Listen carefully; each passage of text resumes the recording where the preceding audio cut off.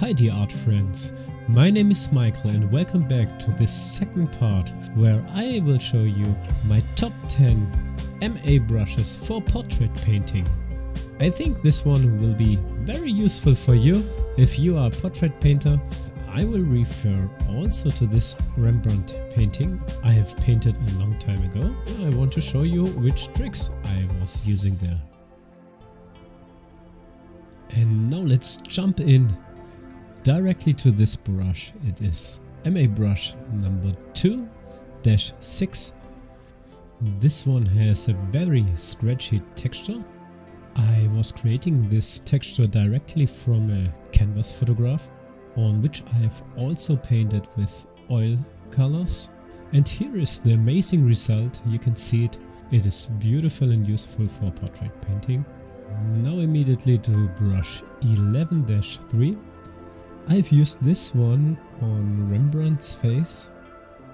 So from the one side you will have a rough texture, but if you learn to not press this brush too much, you will learn to create a very soft transmission between the colors and this will again then result in a very useful brush for portraits. I was also using it for parts of the background of Rembrandt and I will show you where I also was using this one. I was painting this jewelry exactly with that brush. You have already a great texture now. Now separate this line you have just painted in single segments.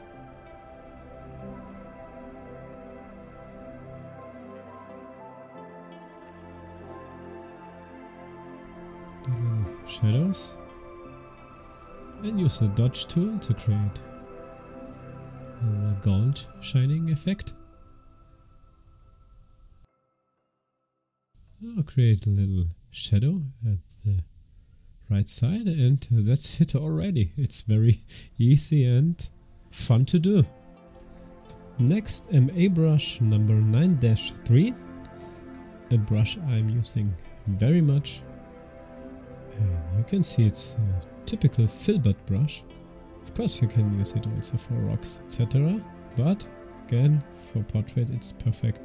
Press it soft for softer transmissions between the color values of the face, the different color tones. And here I'm using not exactly this brush but the 9-5 to create this beautiful feather effect. Look what a special round effect this has. Have you ever seen such a thick oily brush for Photoshop? I don't think. Now back to MA brush 7-5 and here you have the full potential of having a real canvas brush. It will help you to create a portrait like painted on a old linen canvas. This one is a little bit also hard to handle don't press it too much, very slightly, and then you will handle it. You can choose only one of the brushes I have shown you or you can combine them if you want. I recommend test it for yourself. What will work for you? For the start I would suggest to have one brush and stick with that one and see if this works and if not, test the other one. 4-14 is this next one. And you will have a beautiful long bristle brush hair, which combined will have a great effect on your portrait. I'm using here not exactly this one, but it is MA brush 5-2. It will have a little extra texture and I was also using it for Rembrandt's painting. And now that exact brush, just as a mixer brush, it is oil brush 1 version 6 and suddenly you will have a beautiful oily transmission between the color values of this face. See how it looks. I'm still a little bit rough here, but you can have it smoother. I can just say that this is a lot of fun to paint with. And once again, know that using a normal brush and a mixer brush in combination, this is always the best thing to do when working in Photoshop. This here is beautiful MA brush 4-11, very rough texture and I will show you the effect of this brush on Rembrandt's painting. You can give your painting with that one uh, lots of character like roughness. So for every style you want to achieve, there will be a brush for you. And there may brushes. You have to break up the colors and find always the in-between value to create such an effect.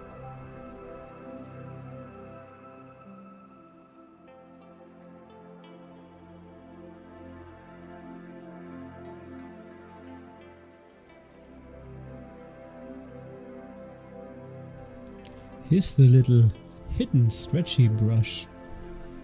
Number two of the bonus brushes I was included two years ago. And I think this brush is very powerful to use also for portrait. And it's a lot of fun to paint with that one.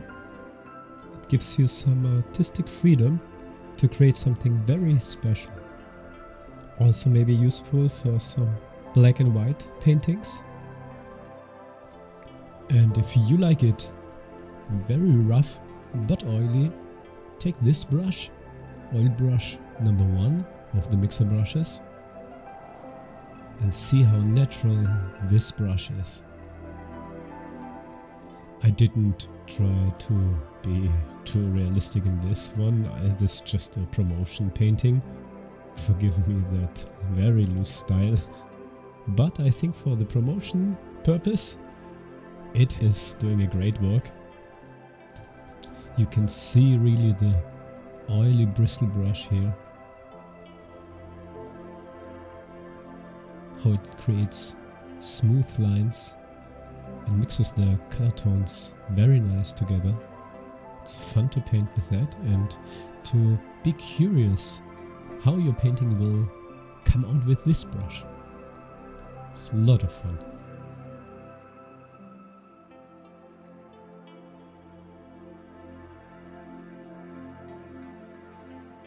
I was using that oil brush number one for Robert Spira's portrait I did here.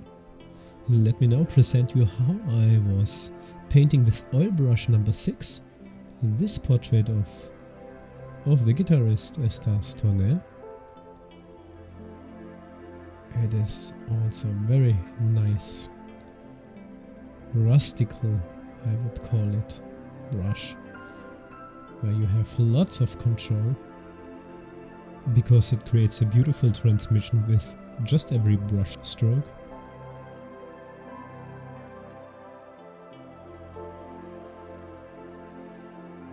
So now let's go to Oil Brush 3 version 2 activate the not solid colors only here. And this is a very smooth brush if you like. Very smooth portraits. This will be your brush. Maybe more often used for women's faces. You have also with that brush a canvas structure. And you will have a very strong paint with that brush, which is very unusual for mixer brushes. And this brush seems to have it all. Now, if you are still not satisfied right now, what else can I do for you? Oh, I know what's missing. Beautiful textures like this one. Or use it with the blue tone of the sky to create a beautiful sky shimmery effect on the canvas. Or you maybe just have waited for the beautiful frost brush to create painterly style portraits. It will look like hundreds of tiny small brush strokes and it will also give you a smooth transmission between the color values. Briefly I'm showing you here brush 5-1 And with the help of this brush, I was creating the texture of the armor of Rembrandt's old man here. Create the shining and switch to a scratchy brush to create some scratches. And with that same brush I was now creating the background. Do a lot of cross hatching with that one and over the time it will create a nice little background like the one Rembrandt did on this painting. Use the red tone to have the underpainting coming a little bit to the foreground because he was using that color. And it's time for the final brush I want to show you today. And this is for the beard of this old man. First I'm starting with the darker tones and later now the gray tone on top. And look how beautiful realistic this looks. Really organic. It's a lot of fun to do because lots of the fun you will have with good brushes is when you can relay on them and that's the case with the MA brushes. That's why I've made them and I hope you have benefit from this little lesson about how to use them for portrait painting. Now I'm working on my portrait course and hopefully in January it will be ready. Have a great time. Thank you.